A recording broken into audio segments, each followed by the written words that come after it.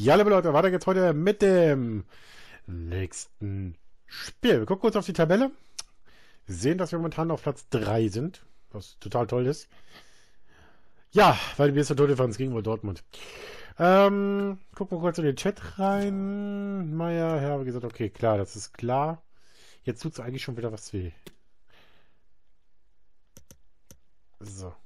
Ja, kein Problem. Ich weiß, wie wichtig du an, den, an der Truppe bist, ja. Genau. Ja, ähm, wollen wir kurz eben mal schauen, wie die DFB-Pokalspiele ausgegangen sind. Bochum, Düsseldorf 1-2, Augsburg, Freiburg 2, äh, 2, äh, 2-1, genau. Union Stuttgart 0, äh, 1-2. Ingolstadt Leipzig 4-4. 4-3 gewinnt der RB nach Elfmeterschießen. Schade. Gladbach 60 2-1. Magdeburg verliert gegen Dortmund noch mit 1-2. Auch schade irgendwo. Ich gerne gehabt, dass die Magdeburger das Ding noch irgendwie behalten, dass sie dann noch weiterkommen gegen den Titelverteidiger. Der wäre nämlich in Runde 2 da weg gewesen. Schalke Fair 3-0, das freut mich besonders. Äh, Oldenburg 2-5, das haben wir ja gesehen, das ist äh, unser, gegen Bayreuth. Fürth Holstein Kiel 1-0. Und dann haben wir noch Bayern Hoffenheim, Frankfurt Hamburg, Halle gegen Köln, Hertha Bremen, Leverkusen Heidenheim, Arminia Bielefeld ge äh, gegen Mainz und Freiburg Wolfsburg. Das sind die noch ausstehenden Partien. Und äh, ja, wir machen heute weiter mit dem Duell gegen Mitaufsteiger SC Freiburg. Wir kriegen ein Turniergeld von 200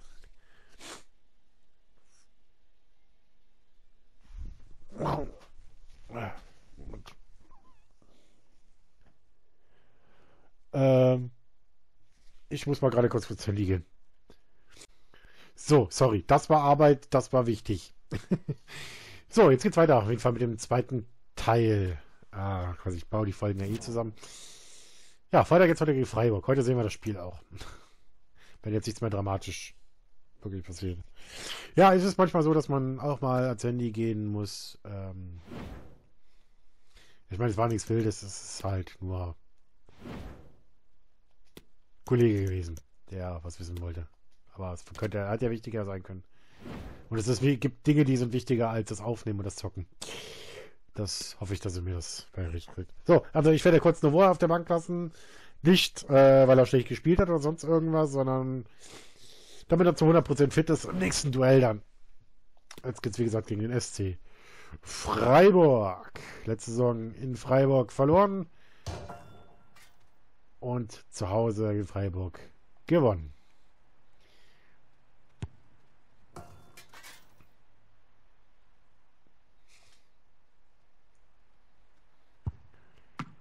Ja, schade.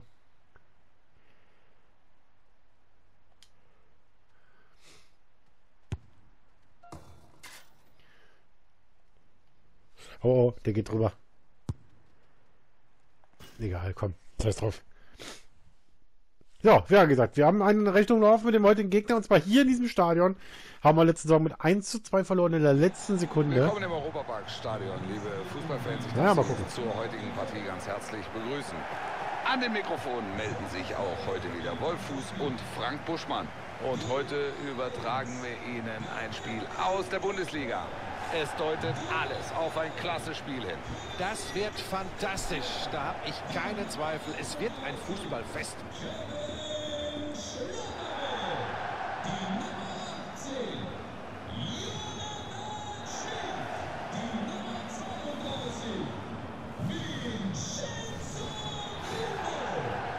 Griffo, den ich ja selber haben wollte.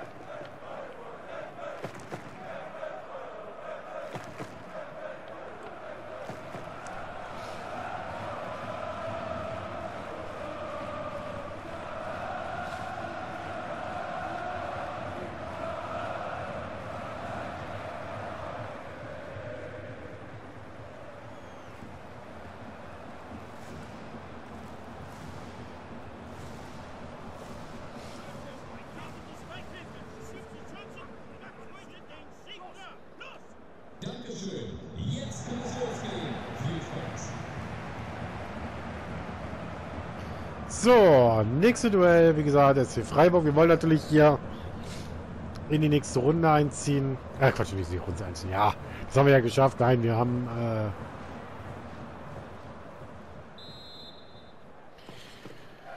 Wir wollen heute hier uns weiter ein bisschen oben festsetzen. So ist der Plan eigentlich an der Sache. Und wie gesagt, unsere kleine Rechnung hier mit dem SC Freiburg noch aus der letzten Saison äh, begleichen. Das könnte gefährlich werden. Nur, dass es aus heute eine etwas andere Mannschaft ist, als die letzte Saison war. Aber dann wird doch nichts aus dieser Schmidt. Situation Gefahr bereinigt. Oder Klopf. Das gibt Einwurf. Ja, war mir klar, dass du den zumachst. Die Gäste hey, sind im Augenblick die Mannschaft mit der besten Offensive. Wenn du mit dem besten Sturm in so ein Auswärtsspiel gehst, dann ist natürlich immer die Frage, wie gehst du das an? Setzt du auf die Offensive? Agierst du eher zurückhaltend? Ich bin sicher, sie werden auch heute wieder die perfekte Schmied. Mischung gefunden haben. Man kennt das ja von ihnen. Und Ulrich, der gut aufpasst, aber dann den Fehler spielt, weil Zukowski sagt, das ist meiner. Gregoritsch. Jonathan Schmid.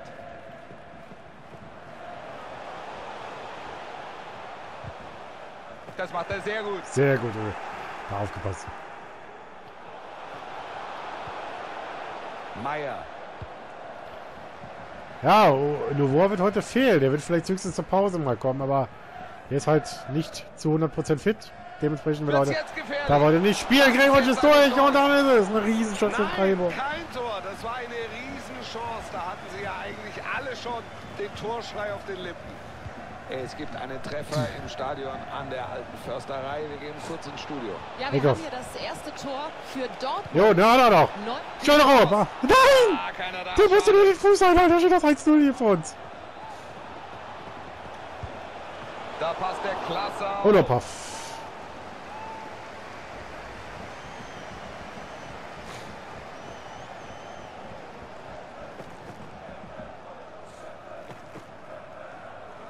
Der das gut macht und den Ball hält. So, Ecke für uns.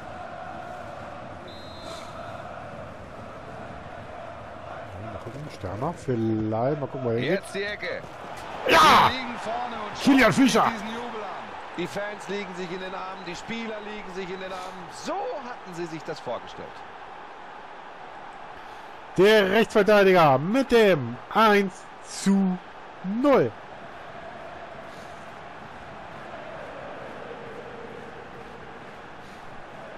Oder beziehungsweise mit dem 0-2. Schau nochmal auf die Wiederholung. Ausgangspunkt ist der Eckball. Und dann ist er stark. Unwiderstehlich, wie er da Kann sich da von seinem Kollegen lösen.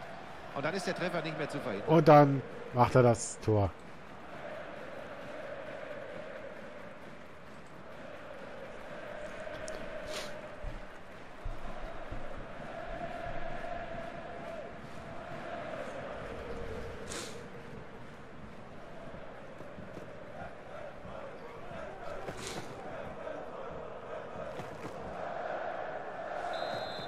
So, Fakt ist, das ist das 1-0. Sie sind jetzt also in Führung. 1-0. Das war der kurze Blick auf den anderen Platz, den wir leider unterbrechen mussten. Tor also für Borussia Tor. Dortmund. Geht vor. Sie führen nun mit 1 zu 0. Schöner Angriff, da haben sie mehrere Optionen. Ah, Staphylides, super. Abgekocht. Ja. Und dann, aber Felder sagt, nö, das ist, äh, ich spiele mal wieder zurück. Ich mag Freiburg. Nein, nein, nein, nein, nein. Jetzt ist das 1-1. Gregoritsch. Korrekt die zweite Chance und dann ist es 1-1. Und man hat die Verteidigung. Ja, das Ding geht auf Schnellrot definitiv. Den hat er gut, böse verloren da vorne. Und dann kriegt die Verteidigung nicht auf den äh, Griff und äh, direkt hat er 1-0. Doch, das 1 1. Nächste Chance. Das ist dann abgebrüht und der Ball ist drin. Gibt Einwurf. Einwurf. Meine Güte. Der Norweger aber mit jetzt einigen Fehlern. Der ist gerade ein bisschen verunsichert, der Junge. Sie machen schon sehr früh Druck. Dieser kurze Meier. Bericht vom anderen Spiel musste leider unterbrochen werden. Es gibt also einen Treffer für den VfL Wolfsburg. Und der neue Spielstand So, Freistoß für... Was kommt jetzt für eine Entscheidung von ihr? Also die Aktion hätte eine für fast schon verdient gehabt. Den Für die Spielfahrt in Bayreuth.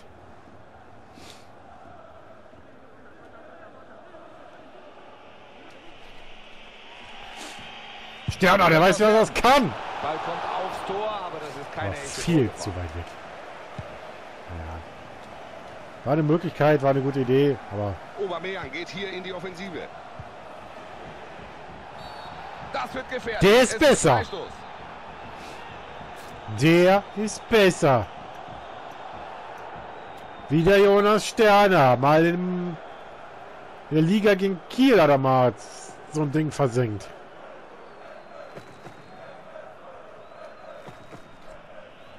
Frage, Freiburg ist nicht Kiel. Super Freistoß. Aber kein Tor. Schade. Was für eine Chance. Schade. Grifo. Wagner. Was den Ballbesitz angeht, haben die Gastgeber Vorteile. Aber beim Ergebnis hapert es. Das ist eine Enttäuschung. Nur unentschieden. Ah, wieder, der war der Zellrum, der ist sowas von verunsichert. Der kriegt jetzt auch die Höchststrafe. Der wird jetzt nämlich ausgewechselt, weil er hat, wie gesagt, das Tor verursacht und dann mehrere Dinge da leider verursachen können. Dafür wird jetzt nämlich Rote kommen.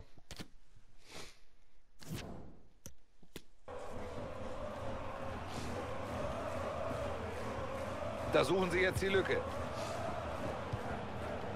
Michael Gregoritsch. Klasse Zuspiel. Letzter Mann, ja. Das Glatt sieht mir ganz nach Platzverweis aus. Oh, das ist wieder Morgalla. Also nachdem Monschelderup gerade gesagt hat, du gehst jetzt raus, fliegt gerade Morgalla mit glatt rot vom Platz. Die Konsequenz ist natürlich dieser Platzverweis. Da ist aus meiner Sicht keine andere Entscheidung möglich.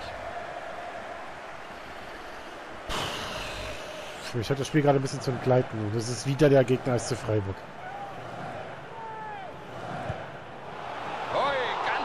Geschichte. Toller Freistoß, alles richtig gemacht. Am Ende fehlt das Glück. Also nochmal, Mogala ist äh, rot runter. Schelderup ausgewechselt, weil er gerade mehrere so Dinge hat. Noch ist die Lücke nicht da, aber vielleicht gelingt jetzt Aber vielleicht... Sie ah, schade. Klären, sind weiter im Bedrängnis. Hat also nicht gereicht in dieser Szene.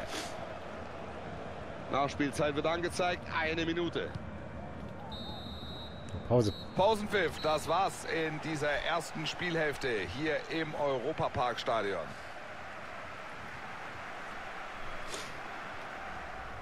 So. Eieieiei. Jetzt müssen wir gerade ein bisschen aufpassen, dass wir hier nicht das Zweite Spiel kann also losgehen. Wir erleben zwei Teams auf Augenhöhe, unentschieden bisher, alles ausgeglichen. Ey, lass ihn doch nicht da laufen! Da ist die Chance! Gehalten! Macht er gut! Das ist doch nicht zum Kotzen, echt! Jetzt gibt's dem, jetzt gibt's dem Gegner noch einen Elfmeter dazu, oder was? Na, da muss man noch mal einen machen. Peri, der nächste Innenverteidiger. Freiburg hat den Elfer. Sie können in Führung gehen. Elfmeter und hat Griffo, aber sowas von präzise. Ich dachte, ich hab ihn dachte, ich ihn. Freiburg dreht die Partie und führt jetzt mit 2-1. Oh, ist das bitter. Wenn der einen Ticken tiefer kommt, hat der noch den. 2-1. Hier ist noch alles drin. Voll in Unterzahl.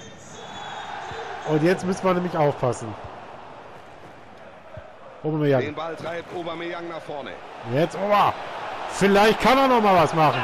Nein, ein bisschen zu lange gezögert. Aber jetzt haben sie noch mal eine Chance. Geht er rein? Meier. Ecke. Nein, auch nicht. Kastanje. Sagt er, den hole ich mir. In der Presse wird ja schon über den möglichen Wechsel berichtet. Buschi. Richtig, aber wirklich fix ist da noch nichts. Da müssen wir einfach mal abwarten, wie sich die Dinge entwickeln. Schelderup. Müssen nicht raus? Ist der Rote nicht eigentlich drin? Die kurze Variante. Die Flanke hat er. Ich hätte eigentlich, eigentlich gewechselt. Ich hätte eigentlich schon Wechsel In der Zero Arena ist was passiert. Ein Tor ist gefallen. Im Studio gibt es sämtliche Infos für Sie. Wir haben hier den zweiten Treffer für Leipzig.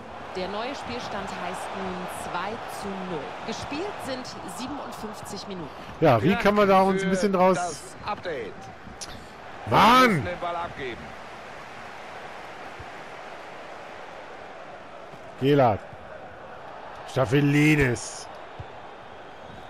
Platz zum Kontern. Szene immer noch gefährlich.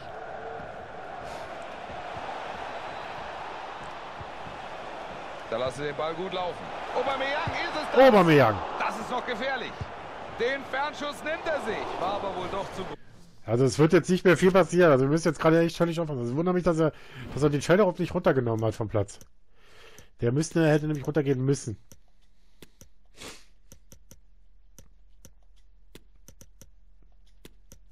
So, Kakutalua rein.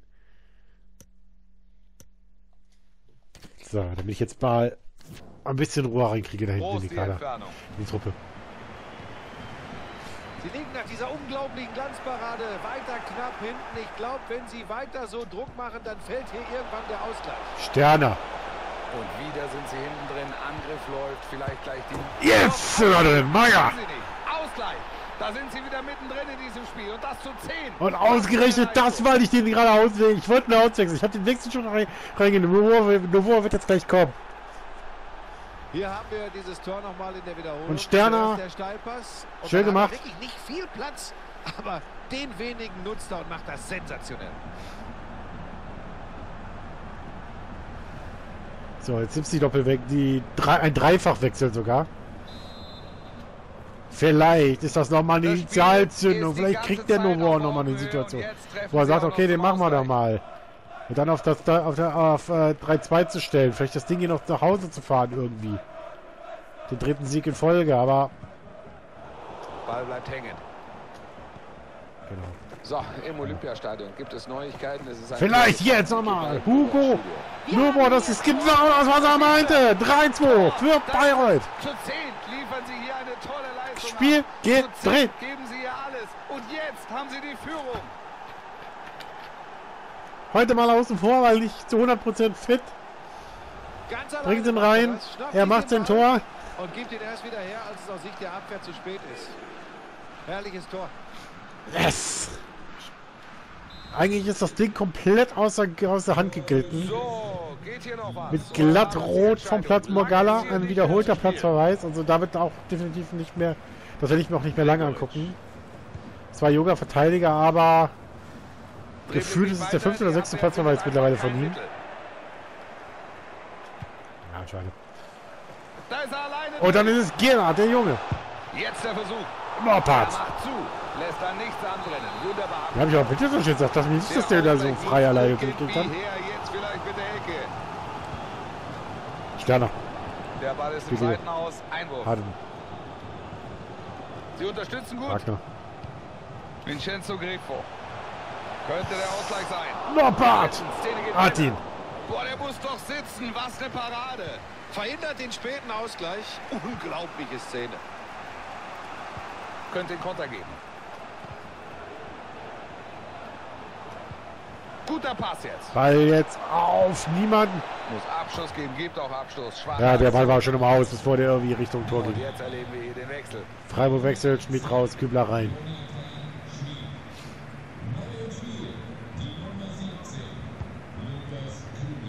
Es gibt ein Tor im Spiel an der alten Försterei. Im Studio jetzt die So, jetzt das Ding Wir irgendwie verteidigen. Treffer für Dortmund. Der Torschütze heißt Nabil Fekir. Mit einem Distanzschuss hat er es gemacht und ja, ich glaube, der war nicht zu halten. Der neue Spielstand lautet ja, hat er, hat er, hat er. Rote. 1. Gespielt sind 87 Minuten. Danke vielmals für dieses interessante Update. Czokowski. Nur eine Minute noch Nachspielzeit, dann ist hier Schluss. Vielleicht der Ausgleich. Na, gemacht vom Torhüter. Siri pfeif ab. Sie bekommen die Chance. Die gibt Ecke. Wofür gibt Ecke? Ecke. Ecke kommt in die Mitte. Das Spiel ist ja. das war's. Und für die Gäste ist es hier ein Sieg geworden. Ah, Wolf, das ist wieder so ein Sieg, der zeigt, wie stark die Freiburger wissen nicht, wieso, warum sie verloren haben. Sie haben den besten Sturm Das haben wir heute auch auf dem Rasen gesehen. Sie machen ein Tor nach dem anderen. Und auch wenn da heute in der Abwehr erstaunliche Lücken waren, am Ende wird es der Sieg und dann ist auch keiner unzufrieden. Yes. Puh. Gewonnen. Was sonst durch Fischer? Jetzt die Ecke. Sie liegen vor. Fischer, Gregoritsch, dann die gelbe per äh, Peri. Ja, ich wollte eigentlich wechseln. Also Freiburg hat. Also Freiburg hätte den Sieg verdient gehabt, muss man einfach mal so sehen. Bayern hat gepatzt. Das heißt, wir haben zwei Punkte, jetzt vier Punkte Rückstand auf die Bayern. Mindestens drei Punkte in den Freiburg. Wir haben die Rechnung mit den Jungs offen. Der zweite Sieg gegen Freiburg hintereinander. Wir bleiben damit auf Platz 3 stehen. Ja, nur wenn unsere Defensive nicht mehr hat. Die ist halt jung. Deswegen wird, da nochmal nachgekauft. So. Muss gucken in der Winterpause. Das war definitiv nochmal eine Einladung. Jetzt haben wir das nächste Duell gegen den FC Bayern München. Wenn wir das Ding gewinnen, sind es nämlich nur noch äh, ein Pünktchen auf die Bayern. Zu Hause im Heimspiel, im Derby gegen die Münchner. Dann äh, RB wird Tabellenführer. Also dann würde die Spitze sowas von eng zusammenrutschen. Dann hätte er, wenn er gewinnt, 27, wir werden beide 25, Dortmund 25, die Bayern sogar 26. Also dann wäre es richtig kuschelig eng. Die ersten vier. Und mit nur dann ähm, zwei oder drei Punkten Rückstand äh, auseinander. Also das wäre eine ganz kuschelige Situation, wenn wir die Bayern schlagen würden. Verlieren wir, sind es sieben Punkte. Dann sind wir erstmal raus aus der Nummer. Wir sehen uns das Spiel in der nächsten Folge an. Morgen um 14 Uhr, wenn ihr Bock drauf habt, sehen wir uns dann wieder. Bis dahin. Tschüss.